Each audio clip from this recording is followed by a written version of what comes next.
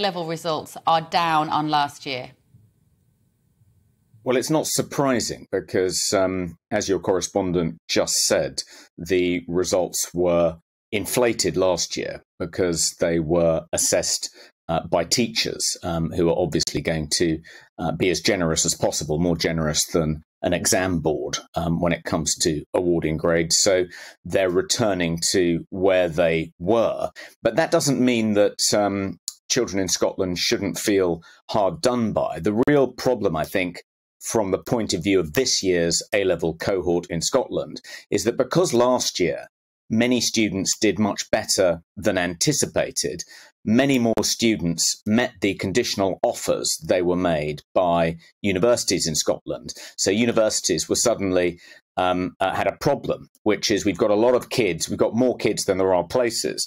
So they encouraged a lot of kids to defer their places, which means there are fewer places uh, at Scottish universities this year, which means it's going to be harder for this A level cohort to get into universities to meet their conditional offers than it was for the kids last year. So it's a kind of uh, it's the long tail of the damage done by closing schools um, and disrupting children's education during the pandemic.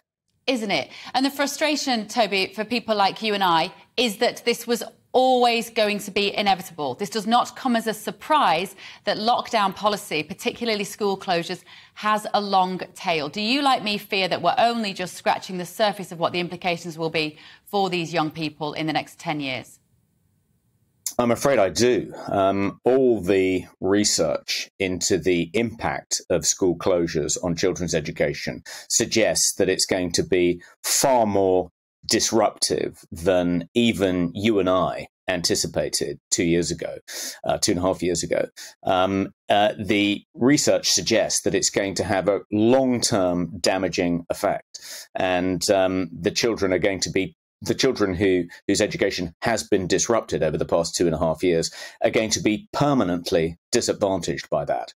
Um, and I think that's a really important consideration uh, when we think about whether we're ever going to lock down again in response to a similar viral outbreak.